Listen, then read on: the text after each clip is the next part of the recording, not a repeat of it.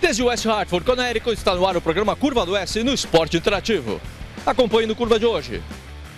Marcas e pilotos paulista. Copa Classic do Rio Grande do Sul. E como sempre, o segmento de arrancada. Nós começamos o programa falando com o piloto Delcio Dornelles, o multicampeão que agora fala sobre a satisfação de correr com o filho. Eu chamo o Delcio de multicampeão. Explica pro pessoal de casa que esqueceu de ti ou que não te conhece para relembrar um pouquinho dos teus títulos. Olha, o que eu posso te dizer é que a gente conseguiu levantar seis títulos. É, gaúcho, sul brasileiro, tem um da Brasca, é, em várias categorias, dois que eu me lembro no Marcas, teve Endurance, teve vários nomes, enfim, com carros mais preparados ou menos preparados, ou protótipo, nós fomos vice-campeão em 2000, com um protótipo que andava muito rápido, em parceria lá com, com o Sérgio Pereira e Castrinho, falecido, nosso amigo, e foram seis títulos e foram seis vice-títulos no nosso ambiente aqui, porque eu nunca.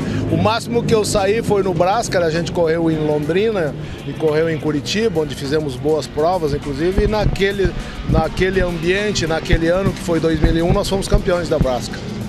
Eu podia te considerar um cara, então, realizado e feliz em automobilismo, uh, por todos os teus títulos e pelo, pelo respeito que eu sei que o pessoal tem por ti aqui. E agora tu vem um novo passo na tua carreira, que é andar com os dois filhos. E aí, meu, uh, qual é essa sensação, qual é essa emoção?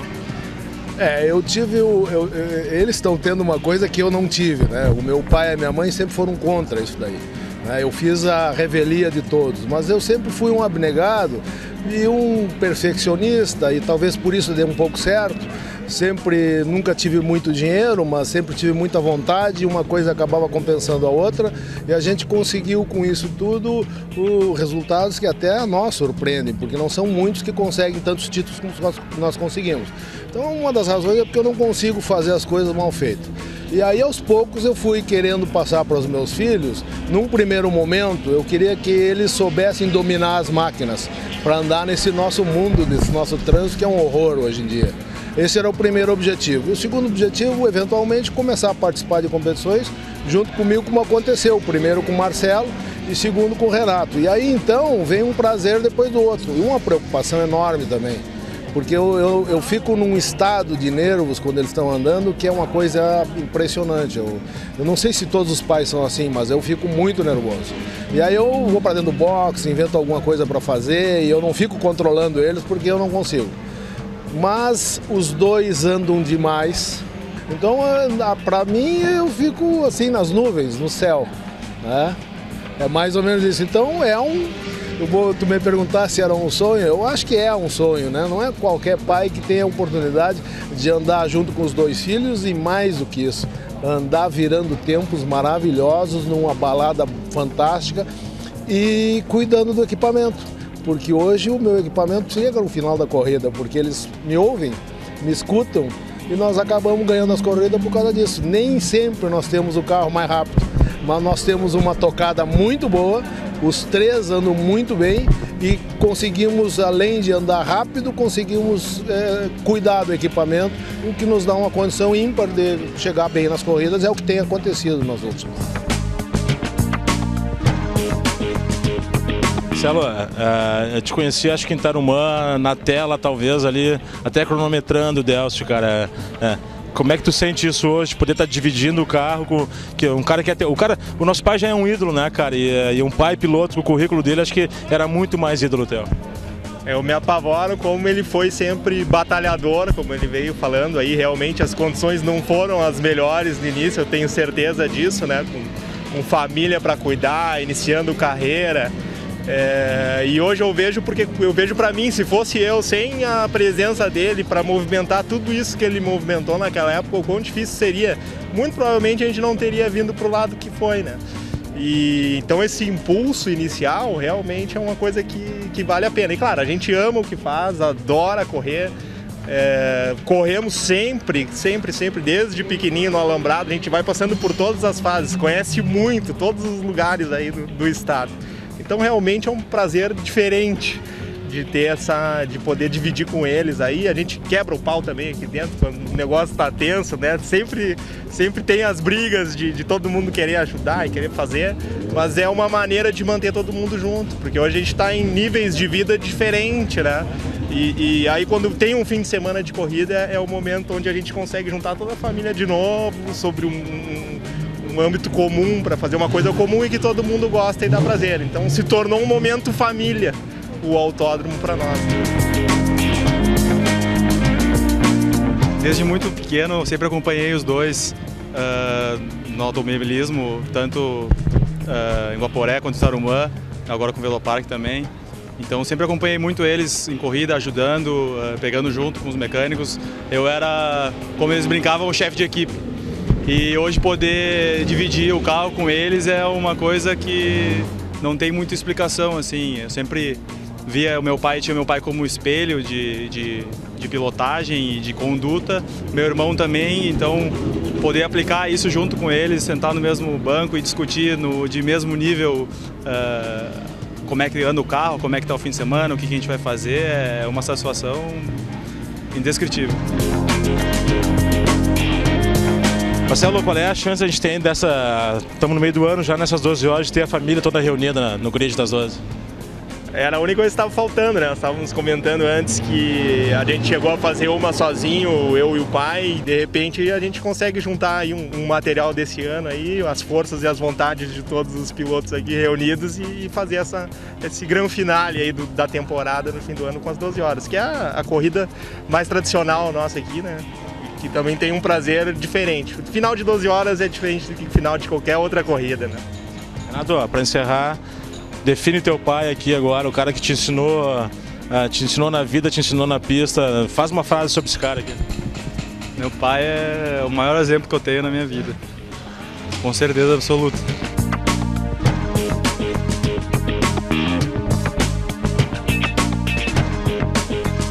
Agora um pouco da história do automobilismo brasileiro com o segmento Maquineta do Tempo.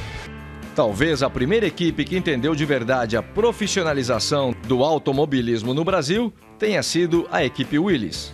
A Willis é um caso à parte do automobilismo brasileiro, né? Porque a Willis é a fonte, né? A Willis é a fonte. Porque a Willis é, era uma fábrica que tinha um produto muito fácil para o Brasil, que era a linha Jeep, e era um braço da Kaiser. O Kaiser era um um, um empresário forte americano, fornecedor pesado da Segunda Guerra Mundial, ele fabricava até navios, né? E ele era dono da Kaiser, ele era o Kaiser, dono da Kaiser. E a Kaiser mandou para o Brasil o, um, William Max Pierce, que era um herói de guerra, um aviador, na Guerra do Pacífico também. E, e, e eles, além da linha Jeep, que foi muito útil para o nosso país, porque o Brasil era tudo chão batido, aquele promessa agrícola de grande potência agrícola, né? Foi muito bom a linha Jeep. Eles mandaram vir os, os Renault para fazer concorrência para a Volkswagen. E pelo entusiasmo do presidente da Willis e influência do Mauro Salles, que era o seu mentor, o seu conselheiro, e ele ouvia muito Mauro, eles trouxeram para o Brasil a fábrica dos, dos Alpines, que foi o primeiro carro eh, esporte fabricado no Brasil. Né? E esses Alpines eram fabricados no, na Europa, na França, pelo Jean Redelé. E o Jean Redelé é, participava em competições com os Alpine, com os Renaults. Então montamos, montaram um departamento da Willis aqui, eh, usando os Interlagos, em especial as Berlinettes e os Gordini, foi um produto muito apropriado. Pedro Pimenta e Márcio Felipe, do Marcas e Pilotos Paulista, falam sobre a relação da categoria com a mídia. Pimenta, é uma parceria que começou esse ano e agora a gente vê a equipe Vou te dizer, me apaixonei pelo brilho da equipe, pela organização de vocês, sinal que a coisa está funcionando e a, a, a, tendência é só evoluir, é isso, né? Com certeza. O trabalho é focado para isso, cada vez melhorar mais. E mostrar que o automobilismo ele é um veículo muito forte de mídia, para quem quer apoiar. Márcio, tu andava sozinho no passado, fez um, um, baita no campeonato, e agora aqui com o Pimenta e com essa evolução da equipe, como é que tu está te sentindo? Agora tem toda uma estrutura, é legal isso, né? Não, ajudou muito, não só com o apoio da CrossFox, o patrocínio para nós, mas com a experiência aí do, do Pimenta, vem ajudar a somar aí para a gente conseguir bons resultados. Né? Pimenta voltando depois de um tempo parado e agora dividindo o que tu sabe com, com uma equipe e de certa forma tu está alimentando um cara que talvez venha bater porta contigo um dia. É, tu prefere ganhar uma corrida com 50 carros batendo porta, tu não quer guardar para ti ganhar sozinho, é isso não? Ah, na verdade é o seguinte, é, o Márcio acaba, se você comentou sobre ele, eu estou criando uma cobra, eu acho que sim. O Márcio é um baita piloto, tem, tem algumas coisas a. Não é nem aprender, é adquirir, né? Experiência, só isso. Mas ele é um bom piloto, um ótimo piloto, e eu vi nele exatamente para eu poder é, me unir a ele, eu vi nele um, um, um, um piloto muito rápido e a equipe muito boa. O que era necessário era uma organização, um cronograma, uma, uma um trabalho mais apurado e focado para melhorar a performance. E nós estamos conseguindo. Mas a categoria está muito forte. Os preparadores do Sul estão vindo aí com a experiência que eles têm lá, porque eu admiro muito, inclusive, o pessoal de lá, que tem uma cultura muito grande de, sobre automobilismo. Acho que até porque está perto do argentino e o argentino é muito bom nisso. Então nós estamos eu estou aprendendo com vocês, gaúchos também. E, e a minha equipe está muito forte, mas vamos melhorar mais ainda. Gente costuma chamar o nosso campeonato de amador, Márcio, os regionais, tanto o gaúcho, o paranaense e o, e o, paulista. Eu achava o campeonato gaúcho maravilhoso, eu tô vendo de vocês aqui, cara, isso aqui é fantástico. Então tem como a gente ser profissional sim, o Pimenta acabou de falar isso, tem possibilidade disso, a gente fomentar aqui trabalhos, empregos, patrocinadores, tem como a gente ser profissional. Sim, tem sim e eu vejo muita gente de outras categorias de brasileiro que sempre vem fazer uma etapa aqui e fala, nossa, não, não acreditei que fosse desse jeito. o negócio é muito competitivo, não é fácil andar entre os seis primeiros aqui de jeito nenhum. Ninguém de nenhum campeonato fala que vai chegar aqui e vou dar as cartas. Não, o negócio é complicado, não é fácil. Então é legal isso, que toda hora tem gente do brasileiro vem andar aqui e dá credibilidade ao nosso campeonato e prova que realmente é muito competitivo aqui sim. Inclusive isso que você comentou agora de falar que é amador é muito, muito diferente do que falam. E a verdade é o seguinte, a cultura do brasileiro, do piloto brasileiro, é em cima do amadorismo. Se pegar 60% pensa isso. A hora que chega aqui vê que não é nada disso. Se não trabalhar focado, com, com correção, com é, firmeza, ele vai sucumbir. Não aguenta dois anos. Então o trabalho que é feito por mim e agora o Márcio vindo junto comigo e adquirindo essa experiência que eu adquiri ao longo do tempo, é, só tem a somar para ele. E eu consigo fazer uma coisa boa para somar para a categoria. Então é um efeito dominó. Eu faço, o outro faz. Você concorda comigo que pessoa, o, o, meu concorrente vê o que eu estou fazendo, vai fazer? E o que eu estou fazendo não é novidade. É, eu estou copiando coisas que eu aprendi na Stock Car, na Fórmula Truck. Então eu trago o que está de lá para cá e mostro para todo mundo que o automobilismo não é amador. O regional é profissional, só é regional porque está em São Paulo, está no Ceará, está no Rio Grande do Sul, mas aqui é muito profissional. Os que não são profissionais andam em trigésimo. Mas eles chegaram agora e vão se tornar profissionais. Alguns não, outros sim. Esses que vão se tornar, eles estarão na minha condição, na condição do Márcio, daqui dois, três anos. Mas eles têm que olhar como profissional. Isso aqui é uma empresa. Se fizer errado, vai ficar gastando dinheiro do bolso. E a CrossFox enxergou em mim, no Márcio e na equipe do Carlão, é, esse potencial, esse profissionalismo. E comprou esse projeto. Então você vê, nós temos hoje dois carros iguais, nós temos a estrutura que ele está, a CrossFox fornecendo. Eu só tenho a agradecer. Inclusive vocês que estão aqui cobrindo. E se estão cobrindo é porque enxergaram alguma coisa legal. Então eu tenho muito a agradecer a vocês também.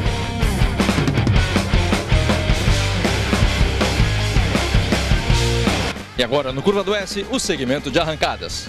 Arrancada com o apoio de Master Power, turbos de alta performance.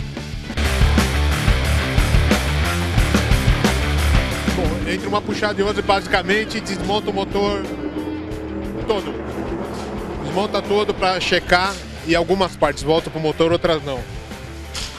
Desmonta a parte, tira os cabeçotes, tira toda a parte de cima, cabeçote, blower, coletor, tudo. A parte de baixo, desmonta toda, só fica o bloco e o virabrequim. E depois é colocado tudo novo. O que é tirado do motor, bloco, virabrequim, tudo, tudo que se tira, blo- eh, desculpa, tudo que se tira pistão e biela do motor passa por uma inspeção. O que tiver dentro da tolerância de medida volta na próxima puxada ou vai se usando, mas normalmente no- normalmente se salva 5, 4 pistão e biela, o resto é lixo mesmo. De todas as puxadas, independente se foi até o final da reta ou não, se você abortou antes, independente de qualquer coisa, é feito isso todas. Isso é uma prevenção de a gente não perder o motor inteiro. Porque quando você faz isso daí, você troca as bielas, como eu falei, biela e pistão a gente volta para a máquina, volta para o motor, volta tudo, então a gente consegue reaproveitar. Agora, se tiver uma quebra, aí você perde tudo. Perde bloco, motor, é, cabeçote, enfim, perde o motor inteiro. Normalmente a equipe é relativamente nova, o pessoal está se conhecendo, nós estamos fazendo uma média de 50 minutos toda essa troca. Já fizemos um West Palm Beach no treino em 40 minutos. Uma boa troca, uma equipe bem sincronizada, bem, bem, bem entrosada, em 40 minutos dá para fazer. Uma pessoa na parte de baixo, que, que solta a parte de baixo, uma pessoa do lado esquerdo do motor, uma pessoa do lado direito do motor, Daí uma outra, uma outra pessoa que cuida do, do, do blower. O blower é refeito a cada duas puxadas, é trocado, é aberto, refeito, checado. E tem mais dois na embreagem. Então ao todo são dois, quatro, seis pessoas direto no carro, diretamente no carro. Além do crew chief e do co-crew chief que fica analisando os dados para fazer o novo ajuste.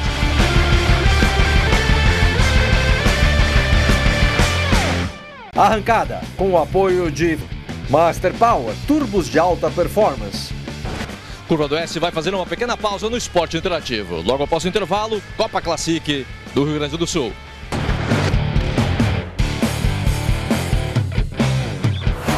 Estamos de volta com o programa Curva do S no Esporte Interativo. Agora batemos um papo com Nilton Amaral, falando sobre a Copa Classic do Rio Grande do Sul.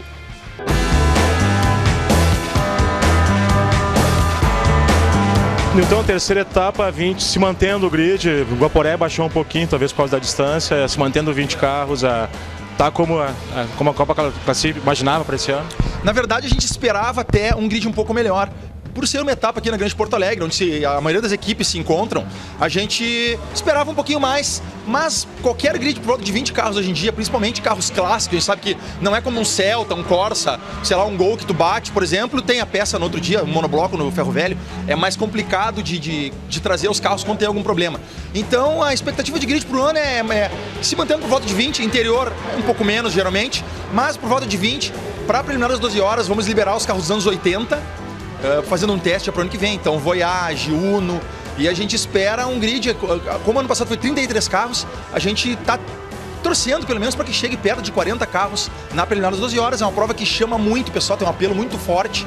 E todo mundo dá um jeito e vem andar nas 12 horas, na preliminar. Eu já também ouvi esse papo de liberação de, de novos carros para o ano que vem. Explica um pouquinho isso. Bom, é o seguinte, a gente até o momento fez uma, uma- um dispositivo no regulamento que os carros para participar tem que ter 30 anos, mas tem um porém, um adendo. Ele só pode. a- a- o início da fabricação daquele modelo tem que ter sido dentro dos anos 70 no máximo. Ou seja, carros que, mesmo que tenham hoje 30 anos, que iniciaram nos anos 80, como Voyage, Uno, Escort, ainda estavam trancados. Por que isto? A gente tentando manter o grid um pouco com carros mais antigos. Porém, está chegando o tempo, já passou. ah, 2010 ah, já vai fazer três anos, então a gente tá, acha que está na hora de começar a liberar gradualmente esses carros. Futuramente, se um grid for tão bom desse tipo de carro, a gente pode fazer até uma categoria separada, como se fosse um Marcas Clássico, por exemplo, dentro do grid da Classic.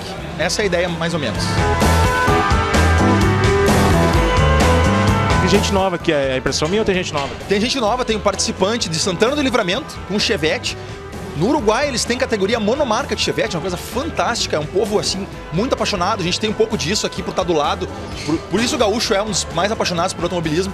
Temos então um participante lá da fronteira, Temos o Juliano Giacomais com Opala repaginado, ficou lindo. Ele era um carro mais original, ele fez um Stock Car sensacional, muito bonito. Então a, a categoria sempre tem novidades no grid. A gente tem um brasileiro que está reformando aquele autódromo. Eu perguntei para o Henrique, tu está vindo para cá, já está intermediando uma ida nossa para lá. É uma expectativa da Classic andar em Ribeira? Com certeza, inclusive já temos um convite do Johnny Bonilla, formal, da Classic participar. Não sei se da inauguração, se for possível, sim. Se não for possível, vamos, vamos programar uma etapa de 2014 para Rivera, todos ansiosos. E as esposas principalmente, né, que estão querendo cartão de crédito para gastar um pouquinho. Mas brincadeiras à parte, é uma pista mítica, os gaúchos corriam muito lá nos anos 80. Então todo mundo tá aquele clima da fronteira é fantástico. Os uruguais têm uma proximidade muito grande com a gente. Então a gente está na expectativa e existe sim. E com certeza Copa Classic em Ribeira em breve.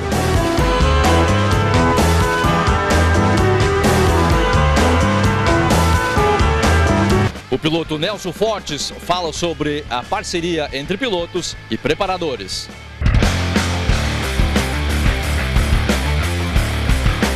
Nelson, o assunto é convivência, pilotos e preparadores. Está numa equipe do Ariza, que é de ponta, e tem seis, sete carros aqui. Como é que vocês se entendem aqui dentro da equipe? É, o treinamento é bom, a, a equipe tem bastante gente, é, tanto o Fabian, o Juan e, e, o Cláudio, eles dão muita atenção para a gente. Então, mesmo com esse número de carros, é, você tem a atenção adequada, seja em treino, de quinta, sexta e mesmo na, na largada. Vocês têm aqui pilotos de ponta, tu inclusive na tua categoria. Vocês conseguem trocar informação entre vocês? O Anderson te dá uma dica, o Luiz, tu passa para ele alguma coisa diferente também? Sim. É, a gente sempre troca informação, vê o vídeo um com o outro, alguém mais experiente ligar, por exemplo, dá um toque, ó, faz assim, faz assado. É, mas é aquilo que o piloto fala, né? Nem sempre você pode acreditar no toque que ele está te dando é real ou não, né? Mas a gente assimila, bota na pista, vê se funciona. Se funciona, beleza. Se não funcionar, às vezes funciona para um, não funciona para outro. Né? Então você vai criando teu estilo de pilotagem, pegando detalhes daqui, detalhes dali, junta e cria teu estilo. O Mark já está lá com o pessoal da Super na frente, tu está quase lá. É, o que está faltando para o Nelson chegar no pelotão daqueles seis primeiros lá? É, eu estou enfrentando um problema no carro.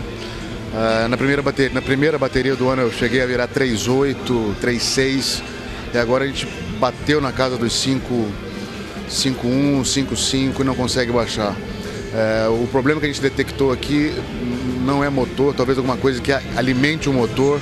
Então a gente trocou a parte elétrica, trocou centralina, trocou sonda para ver se, se, se vem. É que realmente o carro não vem, não, nos trechos não está vindo, de reta não está chegando com uma velocidade que costumava chegar no, na, primeira, na primeira etapa, não está vindo. Pessoal de casa vê só a corrida acha que é fácil, né? Mas, cara, tu deve estar tá pensando nessa corrida há 10 dias já e mais 3 dias aqui no autódromo. Fora que você não dorme. Nesse, de, de, quinta para sexta, de sexta para sábado, sábado para domingo você não dorme. Não, não tem jeito. Hoje à noite você dorme bem, mas esses três dias é muito trabalho, é muita batalha. O carro de manhã está de um jeito, de tarde está do outro. É, o carro da corrida passada, você não mexe nele, vem para cá, tá diferente a pista muda, o tempo muda. Então é, é realmente um, é um esporte muito difícil. Sentar de estar do outro. É, o carro da corrida passada, você não mexe nele, vem para cá, tá diferente. A pista muda, o tempo muda. Então é, é realmente um, um esporte muito difícil. Sentar aqui e virar tempo é um conjunto de coisas é, desde o carro, a tua concentração e a tua perícia. Não, não é uma coisa fácil, não.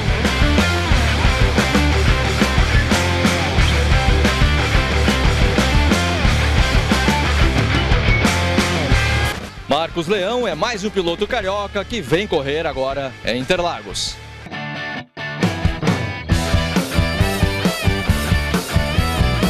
Marcos, para o pessoal que não lembra de ti na pista, conta um pouquinho da tua história em automobilismo, o que, que tu já fez e tal. Bom, eu comecei a correr, na verdade eu fiz um curso aqui na Escola de Pilotagem de Interlagos em 1994 e daí eu fui indicado para uma equipe de São Bernardo, a Galaface, Sport Car Race. Comecei a correr o Paulista de 95, depois eu corri o Carioca e andei de kart. Andei várias categorias, até corri de estoque júnior, depois eu corri na Light. E agora estou aí na Fórmula V desde o ano passado. E caminhando aí, vendo se consigo terminar a temporada e pro ano que vem vir para disputar a temporada inteira para ver se a gente consegue evoluir o equipamento e conseguir uma posição melhor no final do campeonato. Mas o que a gente viu hoje aqui foi maravilhoso, né, cara? Tu não, tu não respirou um segundo, né? Foi disputa o tempo todo. É legal isso na Vena. É, foi bem legal. O carrinho dá muito vácuo, entendeu? Então, é, se você perde uma posição, se você conseguir pregar na traseira do cara e ganhar, subir a, a junção ali bem grudadinho, tu tem chance de fazer ultrapassagem no final da reta. E foi o que aconteceu. Eu acho que eu fiz umas 7 ou 8 ultrapassagens ali no final de reta. Infelizmente meu carro não estava indo tanto. Eu ganhava as posições final de reta e depois eu perdia no miolo. Mas foi legal, foi divertido. A gente, para a próxima corrida, vai, vai fazer um, um trabalho no, no, na ventoinha, vai tirar a ventoinha, que se a gente ganha mais uns 6, 7 cavalos na roda e, e perde também peso do equipamento que se tira. E aí a gente vê se dá para vir para as cabeças aí. Com certeza acho que dá para melhorar o, o resultado. Cara, se tu anda desde a década de 1990 lá, tu não, tu não é um carioca, tu não é um estranho no já conhece a casa aqui, né? Não, eu, eu, eu costumo dizer que Interlagos é a minha casa. Eu, a maioria das corridas que eu disputei foi Interlagos. Eu andei poucas, poucas vezes no Rio, entendeu? Agora, eu acho uma pena o que fizeram com, com o autódromo lá do pessoal, entendeu? Mas é, eu, não, eu, eu não quero nem me meter nesse mérito, porque não é. Mas, é, mas cara, ia ser, ia, ia ser legal, porque tu tá prestigiando São Paulo. Ia ser legal o pessoal de São Paulo lá da V te prestigiar também se nós tivéssemos um autódromo lá. Ah, com certeza, sem dúvida, né? Mas não é da, da minha alçada, né? Vamos deixar isso para os caras lá do, do, lá de cima.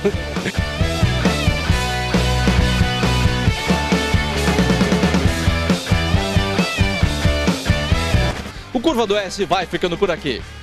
Semana que vem tem muito mais um esporte interativo.